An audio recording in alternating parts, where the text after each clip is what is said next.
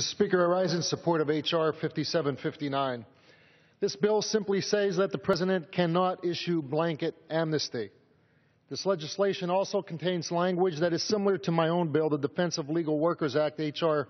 5761. It states clearly that illegal immigrants who are granted executive amnesty are not authorized to work in the United States. When we talk about illegal immigration, we always hear about what we should do to help the illegal immigrants. But what about the American workers? Who's going to stand up for them?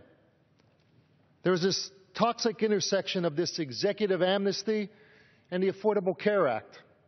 Under the ACA, employers with 50 or more workers will have to provide health insurance or pay a $3,000 fine.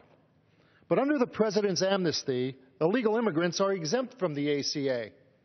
That means with their new work permits, illegal immigrants will be, be $3,000 cheaper to hire. That will drive companies to hire illegal immigrants instead of legal American workers.